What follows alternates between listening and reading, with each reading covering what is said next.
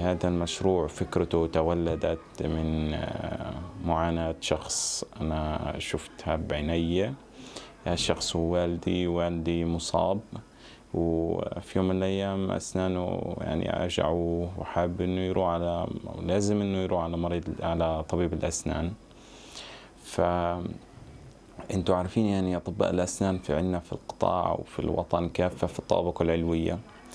كان إشي مجهد وشاق عليه وصعب كيف إن إحنا بنسحبه في الكروسة المتحركة تاعته على الدرج عشان يتلقى العلاج. فأنا فكرت فيها بحيث أنه إحنا كمهندسين معدات طبية علينا مسؤولية مجتمعية أنه لازم نوفر حل لهذه الفئة بشكل خاص لوالدي وبشكل عام لكل فئات ذوي الاحتياجات الخاصة.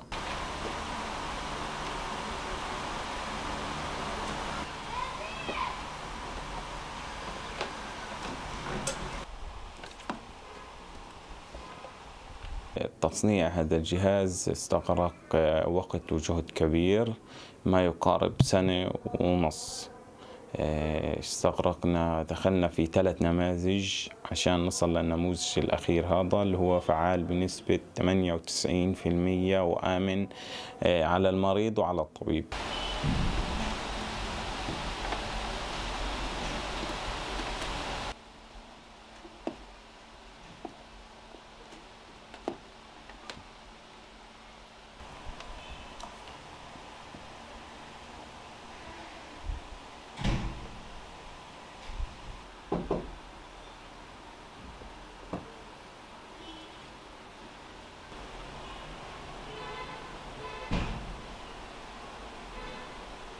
الهدف من الجهاز هدف أول حاجة زي ما حكيت مسؤولية مجتمعية تقع على عاتقنا إحنا كمهندسين معدات طبية.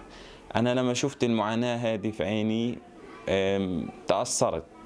يعني ليش أنا أو باقي الناس تأخذ حقها في العلاج بكل سهولة وبكل بساطة؟